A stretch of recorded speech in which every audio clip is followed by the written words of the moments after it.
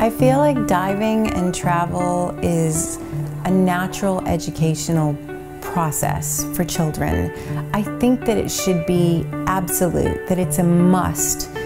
And as a responsible parent, for me, traveling around the world and scuba diving with my kids, being able to show them other cultures, other destinations, marine life, oceans, it has given them an independence. It's made them worldly. It provides them with confidence. And I think that it's opened their mind in a way that allowed them to grow courageously. When you take a child on a vacation, it's like recess for a whole week.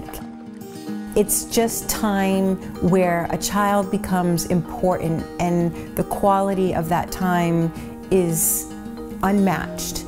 And then when you add diving into it, and diving can be snorkeling, it could be skin diving, it can be doing the programs that we do.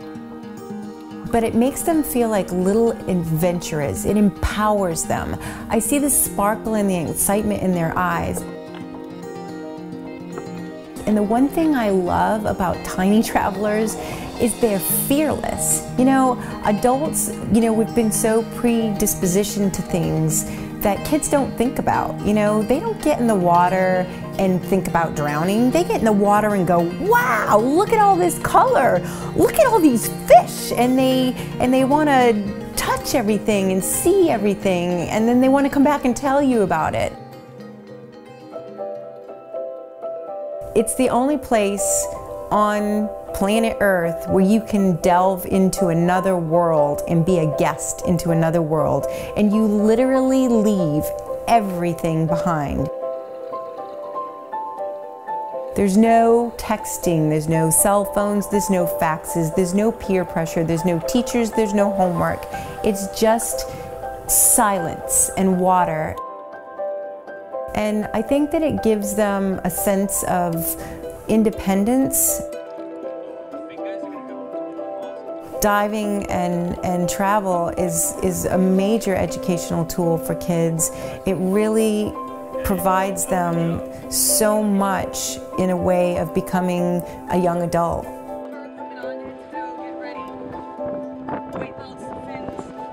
I feel that dive travel brings about in children the ability to become more organized, to become more aware of environments, of marine life, of their effect and their impact on those environments. And it helps them bond as a family because they they build a, an activity a common thread that they all enjoy and can't wait to do again. They problem solve they learn how to communicate underwater they share their experiences. I see that families are more relaxed, they're having more fun, there's a lot more laughter, and kids will tell me that they've had the best time with their dads or their moms diving as a family. And from the kids' perspective, the chemistry is they like knowing that they're a buddy to their mom or their dad. When you take your child on a dive vacation, how was your dive? Awesome. What did you see? Turtles, tarpon, manta ray. Wow, what did you learn? I learned how to clear my mask today. I learned how to use a digital underwater camera today.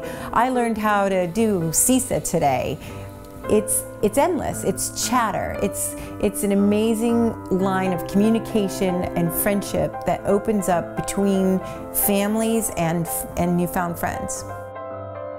And I think that it's really important for families and parents to know that diving is something they can all do. They can do it safely, they can do it easily, and they can do it with so much joy and connection with their family. My ocean is what I want to share with the world, and I want it to be our ocean, and I want everybody to care about it.